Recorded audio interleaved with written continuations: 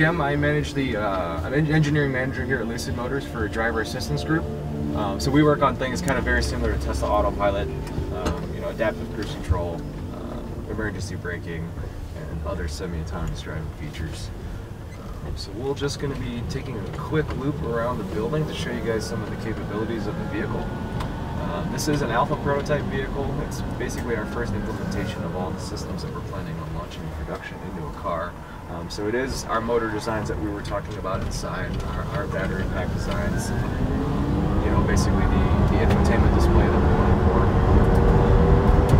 So around this turn, I'm going to be doing a very brisk acceleration. Uh, if you guys are holding like cameras or phones, just Sure. to have you guys have a good grip on it. So we're just going to be showing you what the car's capable of. So ready? All right.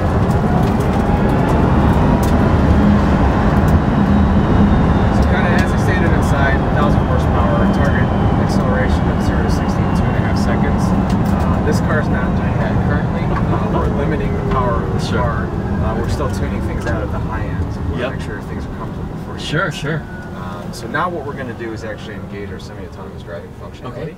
Uh, so that sound means the system is active. And as you can see, I'm not touching the steering wheel or the pedals. We haven't had the car actually completely Yeah. drive for us. Sure. Um, so what you see here is actually we have a lidar sensor installed in the front of the vehicle, uh, and it's a very very accurate sensor, so we can actually see the road edges, uh, you know, different things like the trees. And this lidar sensor helps us detect things like cars, pedestrians. Uh, that will, will be a bit- very critical piece of our autonomous driving sensor suite.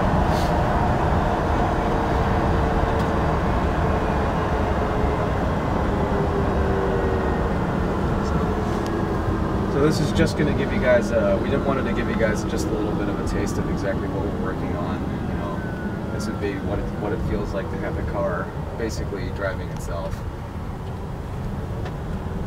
Closing the road off for safety. Sure, sure. Uh, you know, it is a development system, so we're, you know, we're working hard on it. My brother took a Lyft here and it's like, oh, the road's closed, can't go down that way.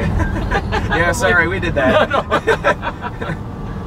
For good reason, right? Fantastic. So after this turn, the system is going to disengage. You're going to hear a sound, and that's just Okay. the system telling me that I now have control of the vehicle. Uh, we're, we're definitely making sure that customers are aware. Sure. Now, did you brake or did it brake? Uh, the system broke. I, I hit the accelerator pedal and took control of the steering. Okay. That, that Yeah. beeping sound. Nope, just checking. Yeah, that beeping sound was the indication that I I'm now in control. Yep. no, no, because the car slowed, and I was just curious right there, you know, if that was you or if that was the Yeah, so we, had we had the uh, we had the car slow down at that pass. So Yeah. where, where we stopped, where Sure. the blue line ended, that's kinda makes sense. Makes sense, but I just if it,